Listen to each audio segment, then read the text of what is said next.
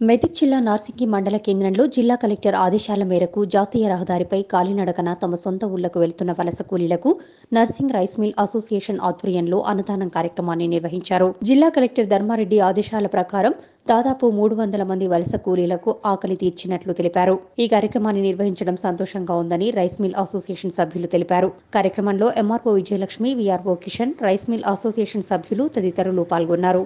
మన మెదక్ జిల్లా గౌరవ కలెక్టర్ ఆదేశాల మేరకు ఈ వలస కార్మికులు మరి నడుచుకుంటూ వెళ్తున్నారు లారీలలో వెళ్తున్నారు వాళ్ళకు భోజన వసతి ఏర్పాటు చేయాలని చెప్పి ఎంఆర్ఓ గారుతో మాకు చెప్పారు. దాని మీద ఈరోజు టెంట్ టెంట్ వేసి భోజన కార్యక్రమం పెట్టాము. మరి వాళ్ళు ఎక్కడ దొరుకుతుంది అనేది లేదు ఎక్కడ ఆగుతారనేది తెలియదు. చాలామంది వెళ్తున్నారు కాబట్టి ఈ సద్వి ఈ అన్నదాన కార్యక్రమం సద్వినియోగం చేసుకోవాలి